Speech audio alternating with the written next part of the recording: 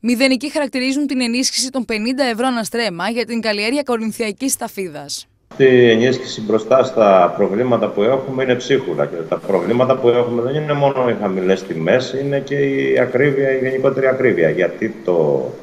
η ενίσχυση αυτή είναι ουκρανόμετρο. Είναι για την Ουκρανική κρίση δηλαδή. Στην εφημερίδα της κυβερνήσεως δημοσιεύτηκε κοινή υπουργική απόφαση με την οποία γνωστοποιούνται τα ποσά των ενισχύσεων για το έτος 2022 που θα λάβουν οι γεωργοί οι οποίοι δραστηριοποιούνται στην παραγωγή κορινθιακής ταφίδα, αχλαδιών, καπνού, κρόκους, παραγγιών και μελιού. Θέμα το οποίο έχει αναδειχθεί πολλαπλά σε όλα τα επίπεδα όλα τα προηγούμενα χρόνια. Δυστυχώς δεν εισακούστησαν οι εκκλήσει μας προκειμένου να προλάβουμε την εξέλιξη αυτή Είχαμε προσπαθήσει έγκαιρα να ενημερώσουμε την κυβέρνηση και τον προηγούμενο Υπουργό, όσο και τον τωρινό.